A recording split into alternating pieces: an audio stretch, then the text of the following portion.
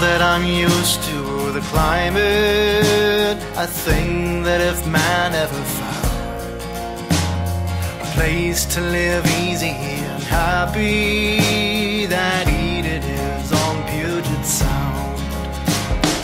Eden is on Puget Sound. That Eden is on Puget Sound. A place to live easy and happy.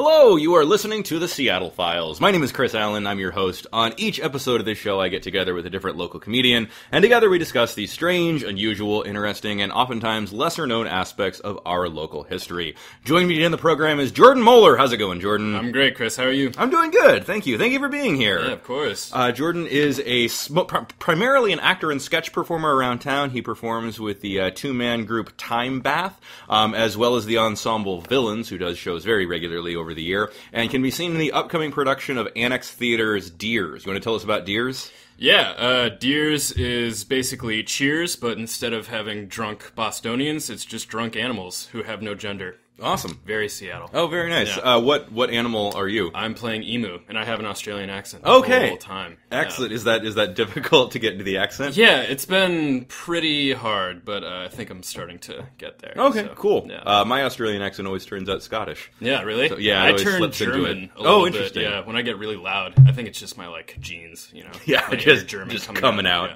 Uh, how long have you lived in the in the Northwest, in the Seattle area? Um, I've lived in the Northwest for six years. Six, yeah, a little over six years at this point. I lived in Tacoma for four years. Okay. and then moved up. Where were you from before? Uh, I was from the suburbs of Washington D.C. in Oh, okay. Virginia. McLean, Virginia. Excellent. And you came out here UPS, right? Yeah, yeah, Yeah. yeah. I'm another logger. Yeah. A lot of those, a lot of them uh, running around the Seattle comedy Yeah. scene these days. Yeah, Yeah. quite a few. cool. Excellent. Uh, how much do you know about local history?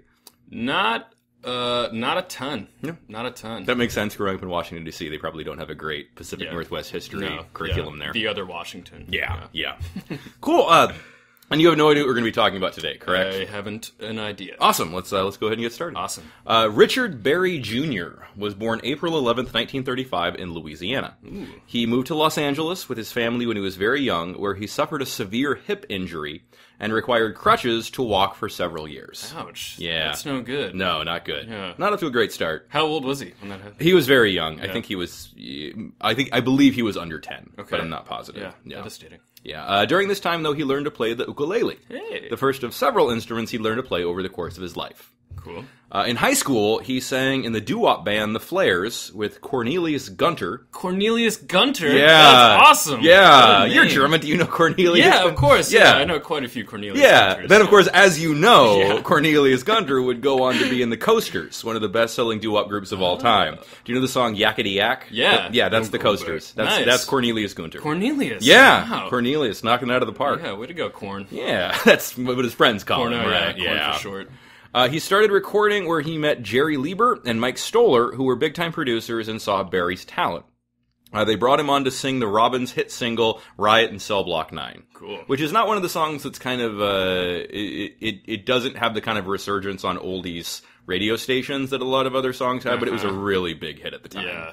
Yeah. yeah. Cool. It's maybe not the kind of song you'd recognize if you heard it, but it was big then. Cool. Mm. Yeah, I feel like I could only do like 10. I know like 10 doo wop songs in the Okay, back of my head. What what do you got? Sorry, on, on the Oh boy! here. Uh, well, actually, there was a sketch comedy group that just performed at Sketchfest that had a great doo-wop song that I've been singing. Oh really? um, yeah, it's pretty vulgar. I don't know if I can sing it. okay. Yeah, Cool. but it's great. Yeah, Awesome. It So- plays in my head while I sleep. Oh, that's yeah. That's the mark of a good vulgar sketch yeah. song. Yeah, right. Uh, well, he continued re- to record throughout the 50s, uh, both as a solo artist and collaborator. And in 1955, he wrote a song about a Jamaican bartender who longed for a woman he left back home. Uh, the song had a very simple structure and was catchy. It had a heavy calypso influence, and he called the song Louie Louie. Louie Louie. Yeah, you know Louie Louie. Louie. Louie. Yeah, exactly. Mm-hmm, mm-hmm, mm-hmm. Yeah, exactly. one. Yeah, the one that you can't quite understand Nailed the lyrics to. Yeah. Well, the lyrics for the song he wrote went Louie Louie, me gotta go, Louie Louie, me gotta go.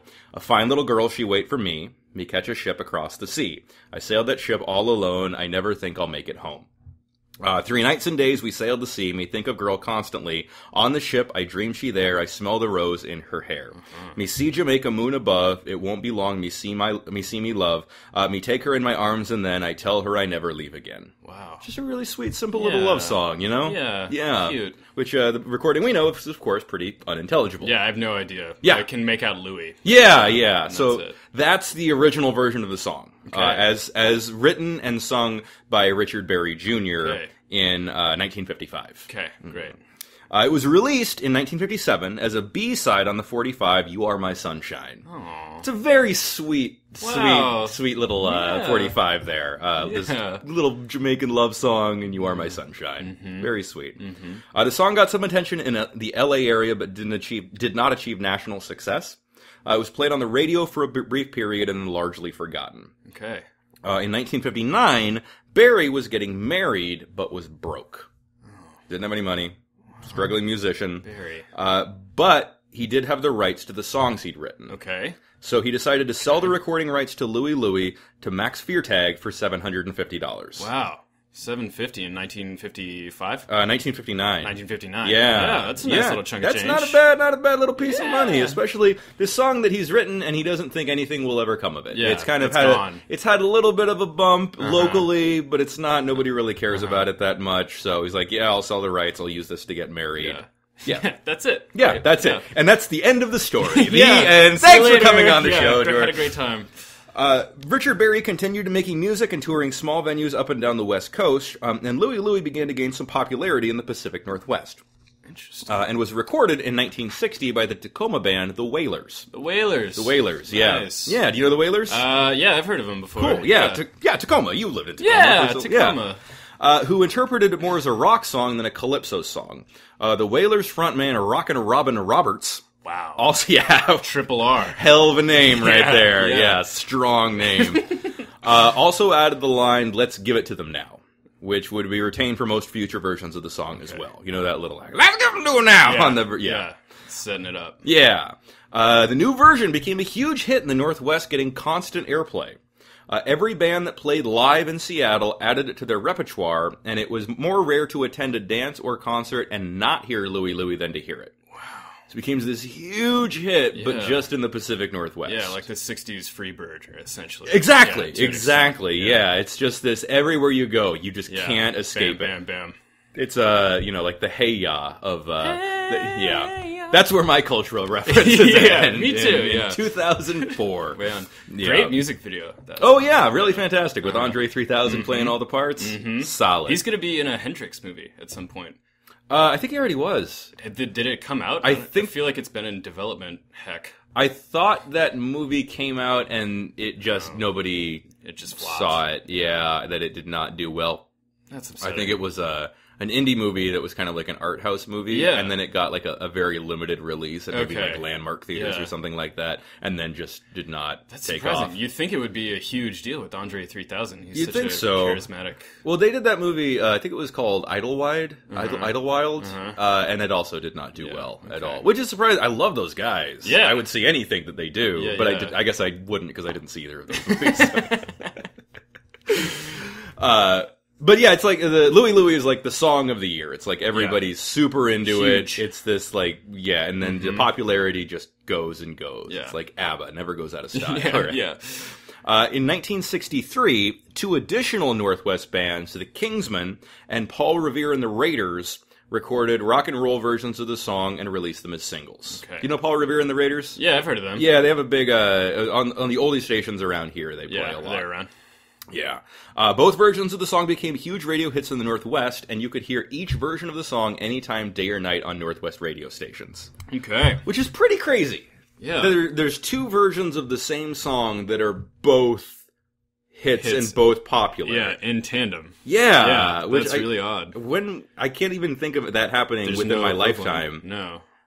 But yeah, they're both they both recorded different versions, and they both you know became these huge awesome. huge local Was hits. it like were they like rivals? Were the bands like was it like the Sharks and the Jets a little bit like you know I don't know if they were snapping across town? I, I don't know if they were bigger rivals than like any two bands that are Yeah. kind of like gaining Yeah, popularity. in a local scene. I, I like to think Tragic. that they were more like supportive, like they were. It was a friendly rivalry, Yeah, yeah, or yeah. although I'm guessing whichever one recorded it first was like, "Fuck those other guys! How dare you, Bastards. We recorded that. Bastards. God damn it! Yeah. Yeah. And then they had a big dance off and Yeah. it all worked out. Yeah, it all works out in the Yeah. end. Uh, the Kingsmen version was recorded for fifty dollars in a small studio. Okay. uh, and this is the version that we know today. This Okay. is the, this is the Got really it. popular version Yes. that's lasted. Uh, it was recorded for fifty dollars. The mic was suspended from twelve feet above singer Jack Ely's head. 12 feet. Twelve feet above his head. Was he just loud? Did he have a sonic voice? the instruments were arranged in a circle around the lead singer, which meant he had to scream in order for the bike to pick him up. That's awesome. Yeah, Yeah. uh, and it was done intentionally. Yeah. uh, because the producer wanted to capture a more live sound as opposed to a spot, uh, polished studio recording. Cool. This also is a uh, explains why it's, so unintelligible yeah. because it's 12 feet up the, all the other instruments are playing at the same time and he is screaming Yeah. at the same time all this other music is filling Yeah, the recording studio great. yeah isn't Yeah. that awesome It would be awesome if we could just do that for the rest of this recording. If I could like go into the bathroom and just sort of scream at you. For the rest yeah no. Yeah. that's uh Yeah. that's you want to give it a shot see Yeah. what happens okay great Awesome. Uh, so uh, to continue on with the story, Paul Revere and the Raiders uh, shortly after signed with Columbia Records and went on to become a national act. Okay. and the Kingsmen broke up. Um, however, the Kingsmen promoter worked hard and managed to distribute their version of the song to the ra- to radio stations on the East Coast, who picked it up, and it became popular on the other side of the country. So Paul Revere and the Raiders go national. Kingsmen get frustrated and disband, and presumably form other bands. But Um, it's the Kingsmen's recording. but it's that the Kingsmen, the famous one. Yeah, the uh, Columbia Records, uh, or uh, no, sorry, um, the promoter for the Kingsmen Uh-huh. is just a hustler, and he goes Yeah, to all these East Coast radio stations, and he says, "Hey, check this out! It's got a great live sound. You're gonna love it. It's catchy, and it becomes a hit on the East Coast." Great. Um, so the Kingsmen reunited because of this. Yeah. Only without their lead singer Jack Ely, who was replaced, Oh. which is kind of a fuck you Yeah. to Jack Ely. Jack. Yeah. Sweet boy. Yeah, it's that cold like, uh, no, we're not going to be a band anymore. We're all going to go our separate ways. Hey, everybody, let's let's get back together. Don't call Jack. Yeah. Yeah, Oh. Which is a, which is a dick move. Um, but maybe maybe Jack was a dick. I don't know. Yeah, I you don't- never know. Mhm. You never know what's going on into a band, you know. Yeah. And everything you know about bands goes So out the window once you're in one. yeah. Have you ever been in a band? Yeah, I've been in a band. Really? Low these many years ago. Nice. Yeah, I was in a band called The Attachments for a while. What kind of music? Rock. Nice. Yeah, I play guitar. Cool. You been in a band? No. No. No. Do you sing? You're a you're a big theater guy. I uh yeah, I don't have any training, but I, I can carry a tune when I when I need to. Um but I don't really like I don't really do it that much. okay. Yeah. Yeah. I would love to be like my dream is to be in the frontman of a hardcore punk rock group where I can just like scream Mm-hmm. at the top of my lungs and like go crazy and just like not have any like real Okay. like tangible like trained talent and Yeah. just have like stage presence. Be the personality exactly. through. Yeah. Yeah, sex, Okay. drugs, and rock and roll. That's all. Yeah. That's all I need, Woo! dude. Yeah. Well, I hear the Kingsmen is looking for a new lead singer. Oh, so great! there Send you go. Yeah. Um, so the Kingsmen reunited, uh, and the Kingsmen version of Louie Louie started climbing up the Billboard charts, topping out at number two in December of 1963. Wow. So local band, real popular, It goes to number two in the Billboard charts. Uh, what four years after after uh, Richard Berry signed away the rights to it? Poor Rich. Yeah. Oh. Um, it was kept from the number one spot by the singing nun Jean Deckers, uh, which was who recorded a song in French about the virtues of Saint Dominic. Wow. Very different world yeah. we're in right yeah. now. Again, that's just something that doesn't really have a modern equivalent that I can think of. Yeah, it's it's the kind of thing where it's the kind of song you might have actually heard it before. Uh-huh. Uh, there's versions of it. It occasionally appears in like the background of like a jaunty moment in a movie. It's like, but not. That was the theme song to some. Uh, that was the theme song to the Smurfs, I believe, which is not it. But uh, That was no, it. it's uh. But check it out. Uh, uh, uh Google uh, Gene Deckers, the song in French about uh, Dominic or Cool, Dominic yeah. or something like that was the name of the song. The Saint. Yes, Yeah. the Saint Saint Dominic. Saint Dominic. Yeah, Cool. Uh, which is, I guess, maybe like the modern equivalent of that would be uh, the, the movie The Artist, the silent movie, getting all this play. Uh, Yeah. Even though it's a silent movie and nobody thought it was going to do anything. Yeah. Uh, due to the rough nature of the recording and Jack Ely's singing style, most listeners were unable to discern what he was saying and the song was actually about. Yeah, that's part of the fun. I mean, Yeah. Mm-hmm. I think that's a big part of the charm. Right? Uh, rumors began circulating that the song was intentionally recorded unintelligibly to hide the fact the lyrics were obscene. Ooh. Yeah. Ooh.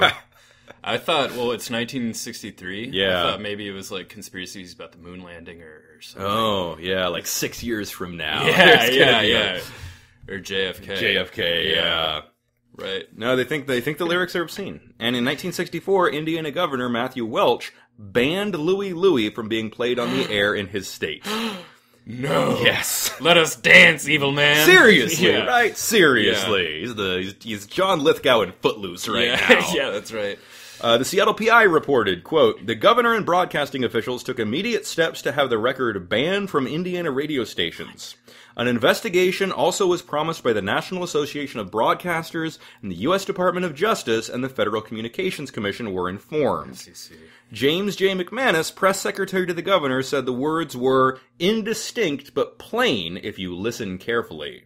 Okay. So people are listening to this and they're saying, "Oh, I'm hearing dirty lyrics in here." Huh. Yeah, But they're not. they're well, the lyrics are not dirty at Right, all. The, yeah. we, we went through the lyrics at the beginning, Yeah, and they're, they're it's just this very sweet- nice. It's this very They're sweet delightful. little love song. Yeah. Um, it's uh not it, it's it's has the grammatical flow of a, a Jamaican speaker, Right, right, right. Um, and he's yelling, so it's unintelligible. So all of these factors kind of combine, and people are kind of hearing what they want to hear out Yeah. of it.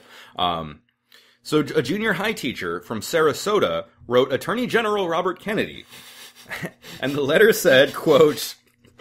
Uh, Dear Mr. Kennedy, who do you turn to when your teenage daughter buys and brings home pornographic or obscene materials being sold along with objects directed and aimed at the teenage market in every city, village, and record shop in this nation? My God. My daughter brought home a record of Louie Louie, and I, after reading that the record had been banned from being pa- played on the air because it was obscene, proceeded to try to decipher the jumble of words. The lyrics are so filthy, I cannot enclose them in this letter. Oh my God. I would like to see these people, the quote unquote artists, the record company, and the promoters be prosecuted to the full extent of the law. We all know there is obscene materials available for those who seek it, but when they start sneaking in this material in the guise of the latest teenage rock and roll hit record, these morons have gone too far. Morons. This reads doesn't this read like a letter to Bill O'Reilly Yeah, or yeah, like a yeah. This or- does have an, equ- a modern. Oh, equivalent. yeah, absolutely. People calling into Fox News. And that Yeah, stuff. totally. Yeah. You're like calling up Rush Limbaugh and Yeah. being like, "These, oh, where's the birth certificate?" yeah, exactly. Uh, this land of ours is headed for an extreme state of moral degradation. What with this record, the biggest hit movies, and the sex and violence exploited on TV? How can we stamp out this menace? Three question marks. Three question Three. marks. It, the letter ends with three question marks. wow, it does. yeah. Uh, wow, that's really. I mean, she's she's very she's a she's a good she's good rhetoric. Like, yeah, she's very persuasive. very inflammatory, very Yes. uh, yeah, Yeah. very pissed off. She should have looked into being a politician, maybe. Yeah. knows how to get riled up. Yes, His teacher exactly. knows how to get riled Yeah. up. Uh, as to what the obscene lyrics allegedly are, Mm-hmm. a set of lyrics were passed around to all those who were morally outraged by this rock song. Mm-hmm. They went, Louie Louie, oh no, grab her way low. there is a fine little girl waiting for me. She is just a girl across the way. Then I take her all alone. She's never the girl I lay at home. Ooh. Then the chorus. Uh, Tonight at 10, I'll lay her again. We'll fuck your girl, and by the way, and on that chair, I'll lay her there. I felt my bone in her hair. Oh my god! Who came up with these? Yeah, this Was it is- the same teacher? The, the same is, lady? This is what's kind of so, so people the uh, it's it's kind of a thing where kids would write them down and Oh, then pass okay. them around, Yeah. and so this is where people would uh, like the teacher would listen to this and be Uh-huh. like, I'm writing down what this is. Uh, the song goes on. She had a rag on. I moved above. It won't be long. She'll slip it off. I held her in my arms and then I told her I'd rather lay her again. Wow. Yeah, there are several variations on these lyrics, but these are the most common ones. I mean, in, in defense of those Midwesterners, if you actually thought those were the lyrics, that's pretty upsetting. Yeah. want your kids listening to that. Yeah, okay. it's just it's it's so vulgar. Yeah. You gotta wonder what's Yeah. going on in their minds Yeah. that they're uh, that they're right. hearing this. Uh, there's a, uh, uh, so there's this thing called pareidolia, which is basically our ability to recognize patterns and human-like things in non-human things. Okay, so like yes. how you know how you see a face in a car. Yes. that's pareidolia. Yes. uh, and this is auditory pareidolia. So people are listening to this and they can't hear it, But- so they interpret that these are what the words Mm-hmm. are. And they've done studies. Uh, this is this is a big thing with with quote unquote ghost hunting, where you heard about electric uh, electronic voice phenomenon that Uh-huh. They're recording and then they play them back. That's auditory pareidolia. It's the same thing. Okay. So they've done studies where they have people listen to just white noise and they say, please transcribe this. This is a lecture, but it's it's so the, the recording quality is so bad. If you could just listen intensely and just transcribe what this lecture is, and people do it, and people write out these whole lectures, oh and there's like little gaps where they're like, I couldn't understand what it was here, but people will hear things in white noise if they listen hard and long enough, regardless Wow. of if it's there or not. It's like a canvas for your subconscious. It makes me think what I'm always like thinking without actually. Yeah. it, you know. It's like a it's like a Rorschach test. Yeah, you know, it's yeah. that like. Oh, that's what that is. Yeah. So, uh, what are you thinking when you're not thinking it? I don't. Is know. that oh man? I don't too- know, man. Get out of my head. Yeah, you thought this was just going to be a light rock and roll story, You're but killing me. Yeah. yeah, didn't realize it was going to break down psychologically. Uh, ben F. Waple, or Wapple, I don't know how this is pronounced, uh, the Secretary of the Federal, yeah, Wapple, uh, got Ben F. Wapple, the Secretary of the Federal Communications Commission, uh, wrote to Wand Records, who had pressed the Kingsmen album, and asked, quote, whether even through unobjectionable lyrics were even, uh, whether even though unobjectionable lyrics were used in recording the song, there was improper motivation on the part of the singers in making the recorded lyrics so unintelligible as to give rise to reports they were obscene. Jeez. So even though the lyrics are not obscene, the Yeah. fact that you sung them in a way that they're not intelligible means that you were trying to get people to Yeah. think that they were That's, obscene. that's a stretch. that is a huge That's stretch. ridiculous. That is that's That's yeah, upsetting. that's real dumb. Real real dumb. yeah. Yeah. Um, the Flint Junior Women's Club wrote a letter to J. Edgar Hoover saying, quote, every teenager in the country, quote, heard the obscene lyrics, uh, the obscene not copywritten lyrics. Uh-huh. So he's saying that even though, they're saying that even though it's not what they were actually saying, we are hearing Right. uh, the obscene part, so therefore phenomenon. it is obscene. Yeah. Yeah. Okay. Yeah. Who can you? I mean, it's hard to blame the band. You know, it's Mm-hmm. not their fault. Or is it? the FBI launched an investigation. yeah, the FBI is getting involved. FBI. Yeah. Great. Uh, if the recording was found to be obscene, then it would result in FCC fines and violation of the Interstate Transportation of Obscene Material Act, Okay. which is put in place for like uh, illegal transportation of pornography, child Uh-huh. pornography, things like that. It's a real, real bad thing to violate. when when was that established? Do I, I don't know. Yeah. I'm not sure. I think it, I'm. It's probably still in place. Yeah, yeah, Uh, I, I, or it's in uh, some other form. But Yeah. yeah. Uh, the FBI sent the record to their lab, which conducted a year-long investigation. They played the record forwards and backwards. Our tax dollars at work Yeah, here. yeah. you. Yeah. Uh, at speeds ranging from 16 RPM to 75 RPM. wow. Uh, the FBI wrote a 119 page file documenting their findings on whether Louie Louie violated indecency laws and was in fact obscene.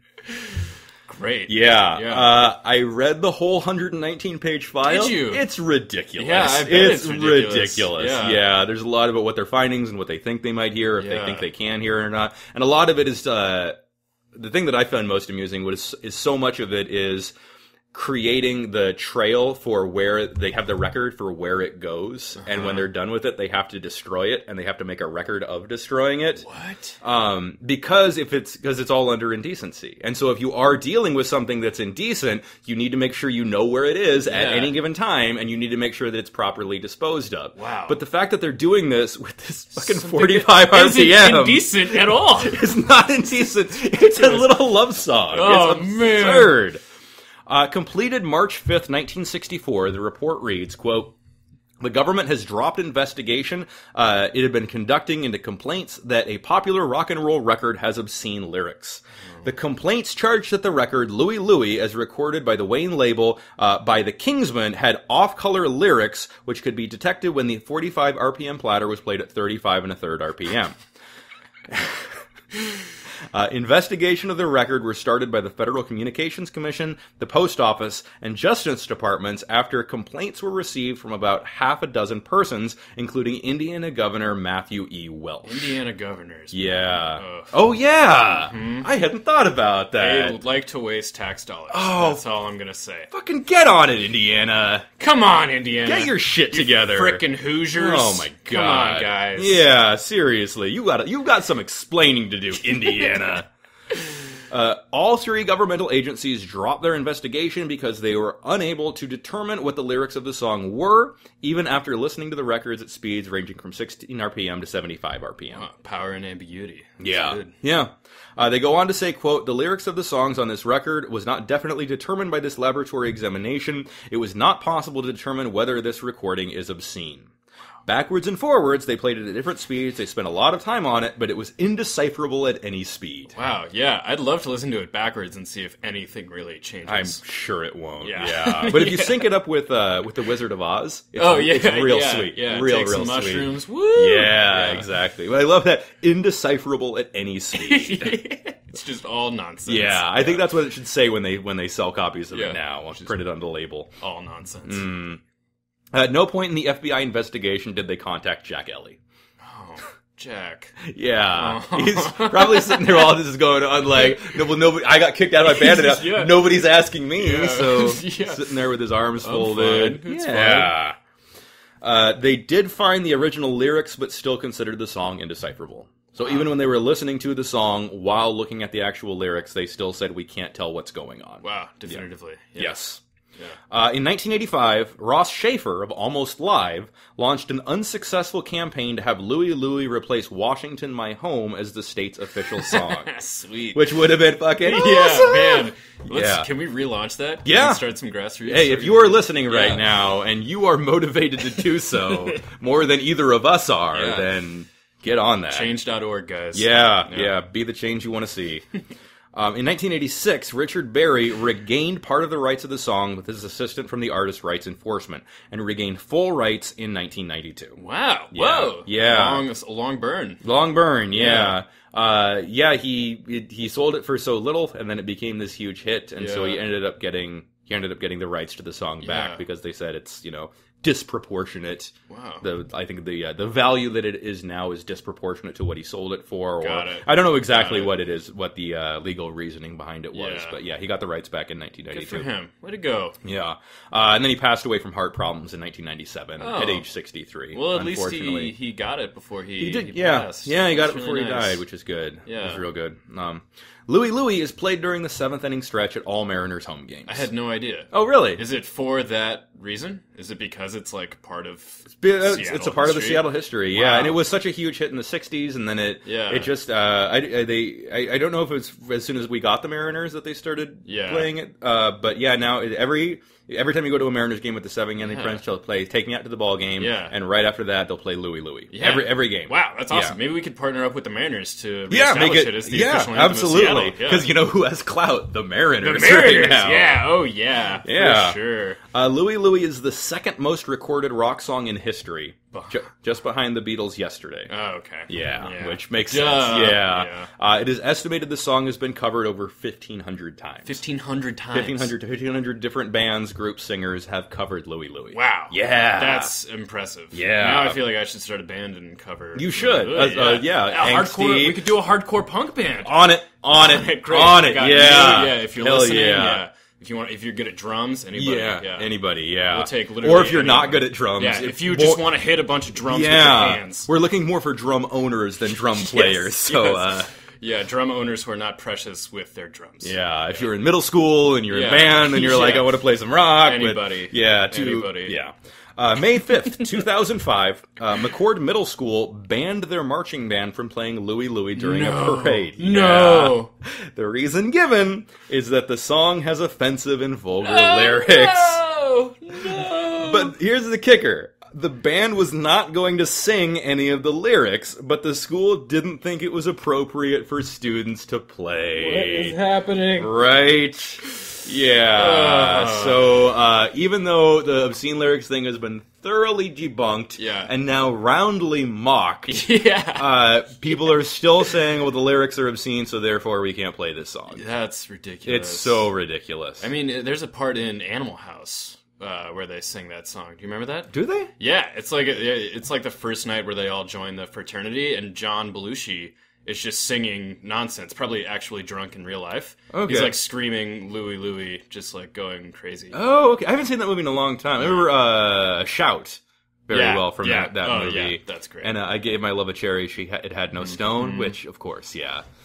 Yeah, yeah, so Yeah. so satisfying. Chicken, yeah. But yeah, that's the story of Louie Louie, Great. which has become kind of the unofficial theme song for Washington State. that is fascinating. yeah. Yeah. It's just so ridiculous that it just got so far out of hand Yeah. so quickly and for no reason Yeah. at all. It's like a modern. Um, it's like when in old villages, like someone would think that there was uh, like a witch or something, and then everyone would like start pointing fingers. What's that called? Group something? Uh, uh, groupthink or group, Group- delusion or yeah, something uh, like that. Panic.